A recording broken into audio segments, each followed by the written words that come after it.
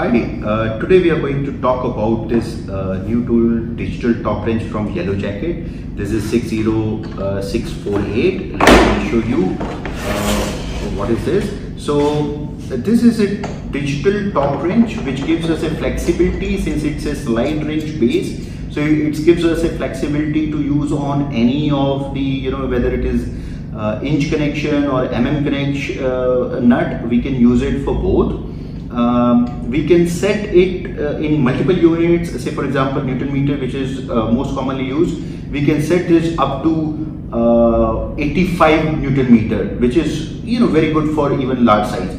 So uh, how it works it's very simple. Adjust the size uh, connect to the nut uh, what we are going to tighten. I am for this demo i have just shown you you know kept as 5 so that i am i can show you.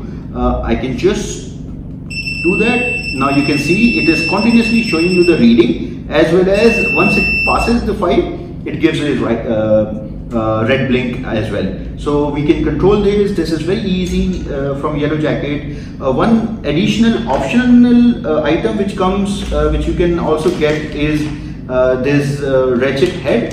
This is 3-8 ratchet head. So what you can do is you know you get a small screwdriver along with it. You can just you know push this pin take this out and replace it with this ratchet head.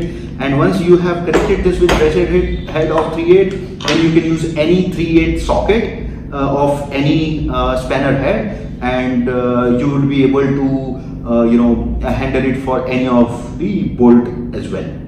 Uh, thank you for watching us this small demo video